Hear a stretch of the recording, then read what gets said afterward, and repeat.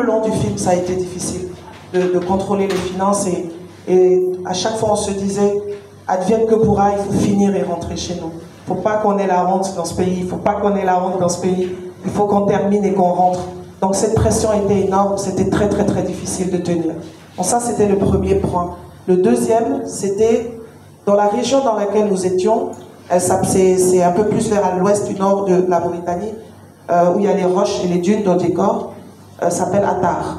Et là-bas, ils ont fait 5 ans sans une goutte de pluie. Il n'y a pas eu de goutte de pluie depuis 5 ans. On arrive, on s'apprête, il commence à pleuvoir. Et il pleut toutes les deux semaines. Et ce sont des pluies qui viennent très très très fortement. Et deux fois, il peut pleuvoir à 100 km de où nous sommes. Et trois jours après, cette eau vient nous envahir. Et on avait deux fois des...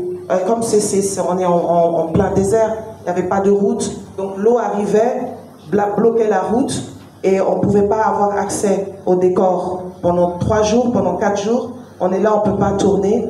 Ça, c'est frustrant parce que non seulement tu n'as pas d'argent, mais les jours s'augmentent. Euh, et puis après, il y avait les tempêtes, les tempêtes qui arrivaient. Comme vous voyez le camp, le camp il est très faible, c'est juste des, tentes. Donc quand le vent vient, quand la pluie vient, vous, tout est parti, ça nous ça emporte tout. Et on revient, on reconstruit la grotte dans laquelle elle vivait. Ça tombait à chaque fois, la pluie vient, ça se détruit, on, le, reconstruit. Donc euh, voilà, ça c'était ces, aspects-là. Et, la pluie nous a vraiment fatigués, le vent, la tempête. De fois, on est en train de tourner, il est minuit. Vous vous imaginez, on, regardait, il, était, il faisait tellement noir dans le désert que quand on tourne, on regarde les étoiles. Donc il y avait deux ou trois personnes qui étaient assises spécialement pour regarder les étoiles. Et à un moment, quand on voit qu'il n'y a plus d'étoiles, on commence à crier On y va, on y va, on y va, on y va, on y va, on y va, on y va. Parce que c'est que c'est la pluie qui arrive.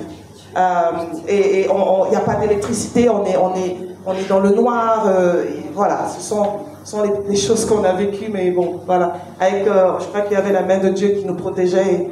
Et, sincèrement, on, était dans le sable, on entend quelqu'un crier Scorpion, scorpion Il y avait des scorpions qui sortaient du sable, il y avait des serpents, il y avait des chacals, il y avait, du tout, mais bizarrement, Dieu merci, personne n'a été heurté et on, on est revenu sain